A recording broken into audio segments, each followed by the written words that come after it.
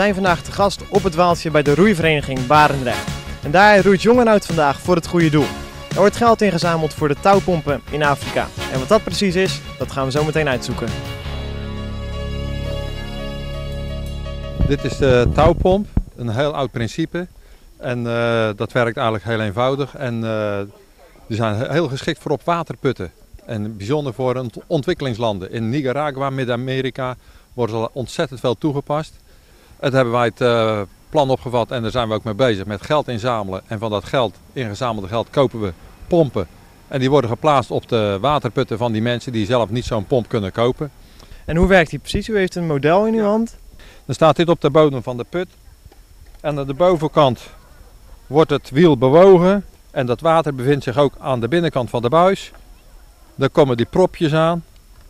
En die sluiten het water op. En die brengen het zo omhoog. Dat is het hele principe. Het ging lekker, het was wel zwaar. Dus we gaan even wat drinken hè. Hoeveel kilometers heb je zo'n beetje geroeid?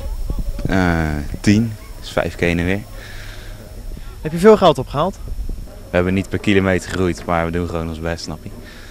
Is het nou anders om te roeien voor een goed doel dan normaal? Anders. Nou, het is even zwaar hè. Ik heb blaren in mijn handen, maar eh, ja, het is voor een doel hè. Je hebt het idee, je staat er bij stil, snap je? Je hebt net geroeid voor het goede doel. Hoe ging het? Eh, goed. En eh, ja. En, eh, het geld eh, wat we daarmee ophalen gaat naar, eh, voor de touwpompen in Afrika. Ga- Is het anders roeien dan normaal? Ehm, nee, je vaart eigenlijk gewoon, en, maar dan voor geld. Mm, het ging al, ik heb last van mijn knie, dus het gaat wel. Is het anders roeien, zo voor het goede doel? Nee hoor, is gewoon roeien. Je zit in je boot en je doet, je doet wat je moet doen en dan ga je vooruit. Heb je veel geld opgehaald? Eh, ik heb alleen maar vast bedrag, maar niet heel veel, maar ook niet heel weinig. Eh, ja, je hebt toch het gevoel dat je het ergens voor doet. Terwijl, Oké, weet je hoeveel kilometers je ongeveer hebt geroeid? 9. Tot eind vorig jaar zijn er eh, 630 pompen van, door ons geschonken.